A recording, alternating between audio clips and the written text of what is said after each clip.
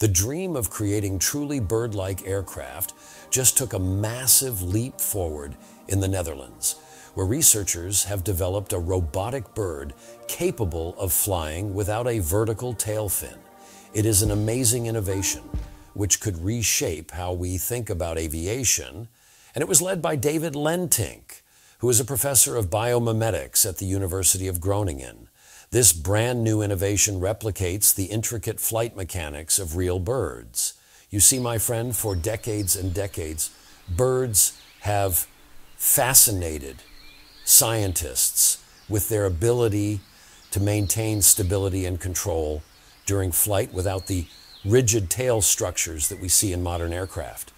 This robot is named PigeonBot 2, and it incorporates real pigeon feathers and state of the art algorithms to mimic the way birds constantly adjust their wing and tail shapes mid flight. Unlike airplanes, which rely heavily on tail fins for balance and maneuverability, birds use a more dynamic approach, flexing and shifting their feathers to adapt to changing air currents. Lentink's team has successfully captured this natural adaptability. And when the robot bird was tested in wind tunnels and open air, it revealed that it could fly autonomously while maintaining some insane levels of stability without the need for traditional stabilizing mechanisms.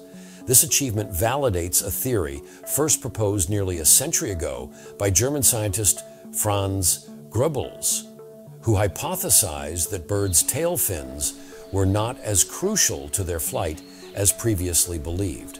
By proving this concept with PigeonBot 2, the research team is paving the way for aircraft designs that break free from the constraints of conventional aerodynamics. Planes inspired by this biomimetic approach could become lighter, more fuel efficient, and even stealthier.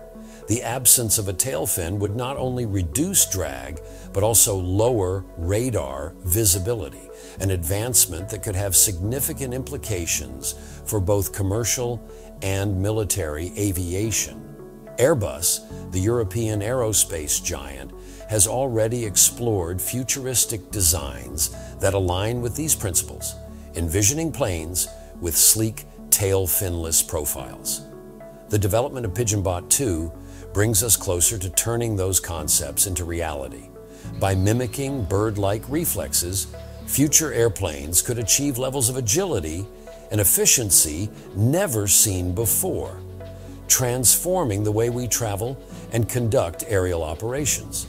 The combination of natural design and advanced engineering showcased in this robotic bird highlights the incredible potential of biomimicry in solving some of aviation's most persistent challenges.